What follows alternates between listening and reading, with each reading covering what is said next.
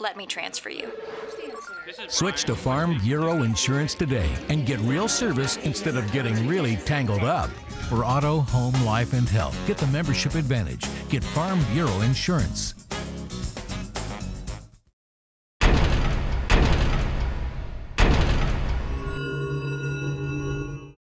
No, I thought uh, that we came out with a tremendous pace of the game. I mean, we played at a, at a pace that uh, we played with it at App State, and I, I think it's hard to prepare for, and I think it's uh, it gives us really good opportunities to get easy shots, and we were able to knock them down.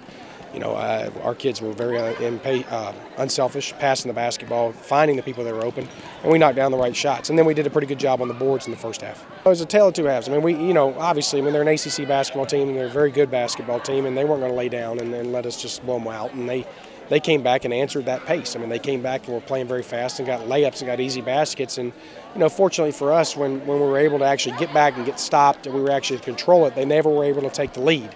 And, and so the momentum never really truly shifted to their side. So at that point, we just kind of traded baskets the rest of the game. But I was really proud of our ladies for being able to at least stop their run. You know, Britt's playing really well. I mean, uh, you know, she, she's she's playing well. She's making good decisions. She's she's shooting the ball well. I think she's getting fatigued and that has a lot to do with me. Uh, you know, but I, it's hard to take her out of the game. I mean, quite honestly.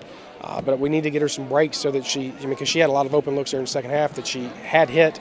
Uh, but I mean, she's been she's playing like a senior should. I mean, she's just stepping up to the challenge and, and making plays.